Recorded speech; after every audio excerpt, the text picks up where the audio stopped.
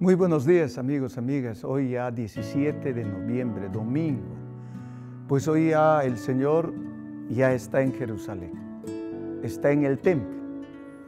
Pues y ahí ve a la gente que se está aglomerando, se acerca la Pascua y admira el templo.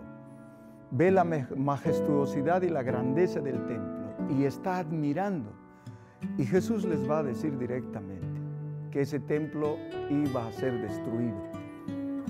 Decir esto no me imagino cómo ha sido la impresión o el choque que hayan recibido. Destruir. ¿Cómo va a suceder eso? En el trasfondo Lucas ya había visto la destrucción del templo de Jerusalén y de, y de Jerusalén por los romanos en los años 80. Y por ese tiempo está escribiendo a su comunidad este hecho histórico de, la destrucción del templo le va a servir para Lucas para decir que ya no es la seguridad del templo, que ya no es la seguridad de, esta religión en, en la majestuosidad del templo, sino esto va a pasar a Jesús. Pues el Jesús va a llegar a decir, no le tengan miedo, den testimonio ustedes van a ser perseguidos, van a ser humillados, van a ser ultrajados.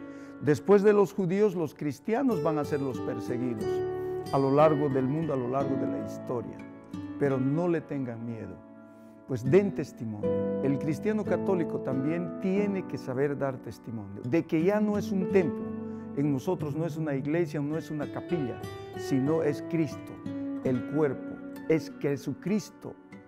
En Él damos gloria y alabanzas a Dios en espíritu y en verdad. Que Dios nos bendiga y nos guarde de todo mal. En el nombre del Padre, del Hijo y del Espíritu Santo.